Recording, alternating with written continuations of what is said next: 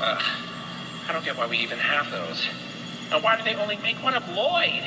Is because he's the loudest? I can be loud too! Where's my limited edition throwback plush? Where's Molly's? Where's Finley's? Give this mistake to a child and they'll cry.